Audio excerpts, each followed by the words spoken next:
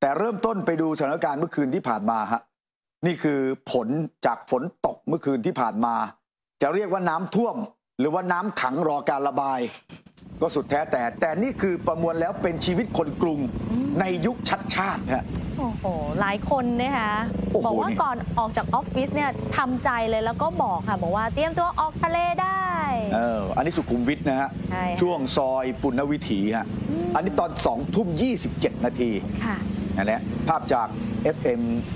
เอ่อ91 นะ traffic โตอืมประมวลมาหลายจุดเลยนะคะอ่าแล้วก็ช่วงเวลาทุ่มครึ่งค่ะ แถวหลวงแพ่งลาดกระบังค่ะเนี่ยฮะนี่น้ำท่วมดูสิระฮะดับฟุตบาทเลยค่ะ นี่ถนนนะฮะ แล้วที่เห็นวิ่งอยู่นะคือรถฮะ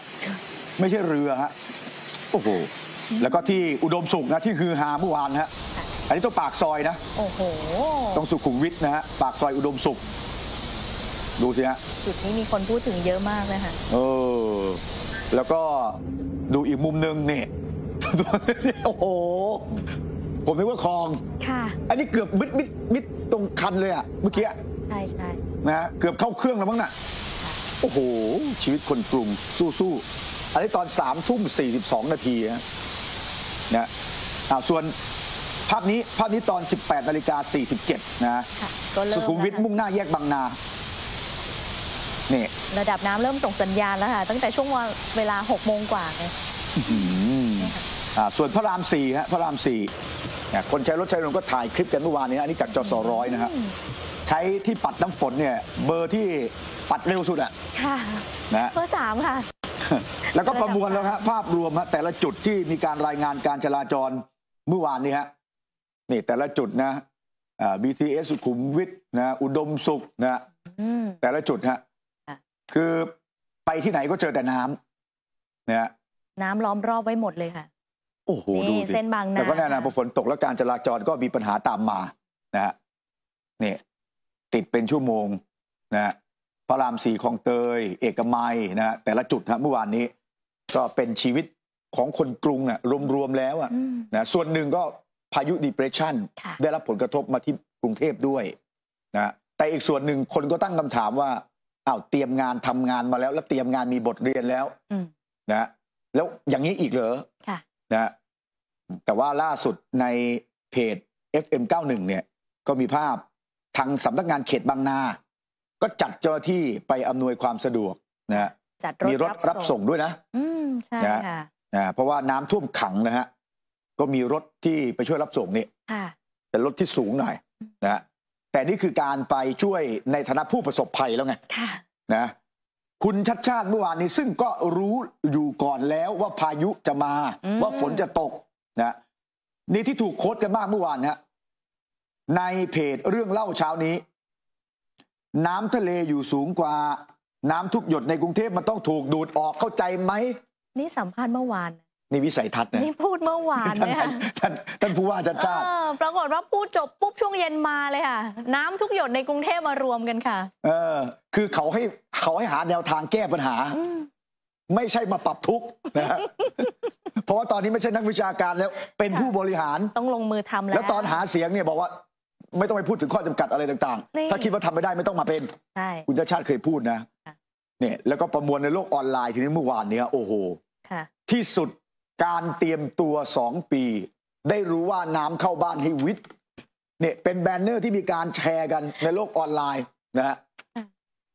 เหตุการณ์รวมไปถึงภาพอื่นๆเนี่ยใช่แก้น้ำท่วมต้องทำทั้งระบบเออจะมาสอนใครล่ะเอาคำพูดของคุจะณมาสชัอดนใครชาตินะมาใส่ท่านผู้ในว่าปัจจุบันนะคะเนี่ยเขาก็นำภาพประกอบมาฮะอืมแล้วในเพจกรุงเทพได้เปลี่ยนไปแล้ว แฟนเพจกรุงเทพได้เปลี่ยนไปแล้ว ค่ะเนี่ยก็นำเสนอภาพเหตุการณ์ความทุกข์ ที่เกิดจากน้ำท่วมขังเมื่อวาน แล้วก็มีโปสเตอร์หาเสียงเลือกชัชชาติโครงสร้างดี ลอกท่อเลิกท่วมค่ะนะอย่างกรุงเทพได้เปลี่ยนไปแล้วเมื่อสักครู่นี้นะ เอ๊ะแคปชั่นทำไมมาแค่นี้น้องก็ไม่เข้าใจนะอะเดี๋ยวกลับมาเมื่อสักครู่ฮะอ่านี่นี่ทำไมแคปชั่นมีแค่เนี้ยเออคอควายจุด ก็ ความทุกข์ไงอ๋อ ย่อมาจากความทุกข์เอาส่วนเมื่อสักครู่นี้การ์ตูนเผาหัวเขาก็เอามาเหมือนกันเนี่ยใช่ค่ะอ้าวปกกับเนื้อในเป็นที่มาของคำว่าไม่ตรงปกไงนะคะก็เป็นอืมโปสเตอร์ตอนหาเสียงไว้ บอกว่าเลือกชัชชาติโครงสร้างดี ลอกท่อเลิกท่วมนะแต่เนื้อในปรากฏว่าเนื้อในคือสถานอยู่กาด้ารนณ์ขล่าวาสุนะดฮะค่ะอะแล้วก็ย้อนกลับไปที่ตอนก่อนเลือกตั้งเลยนะนะนี่คุณโดมแกได้มีการเอาเอ่อ banner นี้มานะล้อมกรอบทองไว้เลยความเห็นของ คนใช้อินเทอร์เน็ตท่านหนึ่งทวิตเตอร์ฮะตอนนั้น ส่วนตัวเชื่อว่าท่านชัชชาติจะชนะ แต่จะ spoil อะไรให้ฟังครับ รถจะยังคงติด น้ำจะยังคงท่วม รถเมล์จะยังคงแน่น ปัญหาทุกอย่างยังอยู่ครบ แต่พอมีความรักในผู้ว่าเข้ามากทมจะกลายเป็นสีพาสเทล จิตเราจะเบาขึ้น นิ่งขึ้นกับทุกปัญหา cap ไว้ได้เลย ถ้าผิดจากนี้แม้แต่พยัญชนะเดียว tag มาด่าได้เลยปรบมือคือไปด่าแกไม่ได้เลยตอนนี้นี่คือโพสต์ไว้ นะ18พฤษภาคมปี 2022 ผู้มาก่อนการเนี่ยปีที่แล้วค่ะ โอ้โหเนี่ยเป็นประเด็นเรื่องความทุกข์ของคนกทมแล้วก็นำเสนอข้อเท็จจริงด้วยค่ะแล้วก็ขอปรับทุกข์ไปด้วยอะอืมนะก็เป็นกำลังใจให้กันวันนี้เตรียมร่มด้วยค่ะนะเตรียมร่มด้วย ท่านผู้ว่าชาติชาติขึ้นก็นะก็เท่านี้แหละบอกให้วิทย์น้ก็ก็เนี่ยนะก็อยู่กันไปอีก นะำอืมเออเรื่องงานใหญ่ ๆ หลาย ๆ เรื่องที่บอกว่าจะทำภายในกี่เดือนน่ะค่ะนะก็ก็ผ่านมาก็ยังไม่ได้สำเร็จอหย่าลางยน้อยเรื่องก็สองแสนเรื่องใช่ไหมที่บอกเท่าก็คือเรื่องย้ายทางขยะเรื่องอะไรอย่างเงี้ยอยู่ในสองแสนเรื่องนั่นแหละนะนี่อย่าลืมว่าอิทธิพลจากพายุยังจะมีอยู่ในหลายจังหวัดนะครับค่ะอะอย่างที่เรียนเมื่อวานนี้ที่เราเอาข่าวกรมอุตุมาก็คือตอนตั้งแต่เช้า ไปไหนมาไหนก็เตรียมร่มนิดนึงนะเราก็ลืมไปว่าเฮ้ยแล้วน้ำมันจะท่วมอะอืมซึ่งมันเกินกำลังเราไง จะให้บอกท่านผู้ชมเตรียมเรือด้วยก็กระไรอยู่นะฮะอ้าวเดี๋ยวสู้กันต่อค่ะอันนี้เป็นประเด็นเรื่องน้ำท่วมเมื่อคืนนี้นะฮะท่านผู้ว่าก็มีไลฟ์สดอืมนะ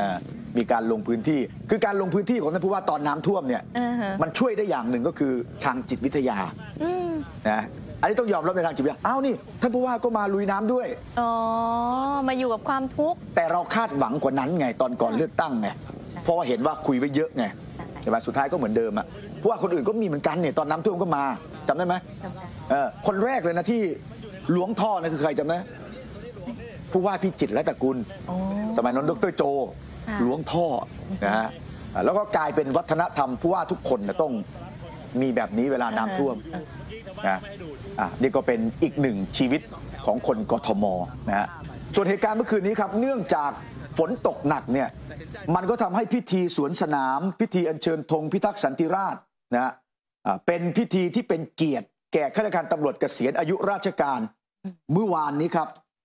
พบตรพลตำรวจเอกดำรงศักดิ์กิติประพัฒน์ซึ่งท่านก็จะเกษียณด้วย เป็นประธานในพิธีเชิดชูเกียรติข้าราชการตำรวจที่เกษียณอายุราชการครับ โรงเรียนในร้อยตำรวจสามผ่านเมื่อวานนี้นครปฐมนี่ค่ะอันนี้ภาพจากแฟนเพจโปลิสทีวีนะฮะอืมสวนสนามกันกลางสายฝนนะเมื่อวานเนี้ยคือทั้งลมทั้งฝนนะฮะตกเดี๋ยวจะมีภาพมาให้ชม แต่วันนี้ให้ดูภาพนิ่งสวยๆก่อนนะคือท่ามกลางสายฝนเนี่ย เวลาถ่ายภาพนิ่งเนี่ยมันสวยนะนะแต่เหตุการณ์จริงเนี่ยท่านผู้ชมจะได้ดูนะฮะค่ะคือที่น่าสนใจก็คือเป็นการจัดพิธีการที่มีการแสดงอื มมีโขนด้วยนะ มีร้องเพลงด้วยอ๋อนี่ไง นี่ไง มีคนนะมีสวนสนาม มีการกล่าวนะฮะ คือดูแล้วเนี่ยรู้สึกว่าเฮ้ย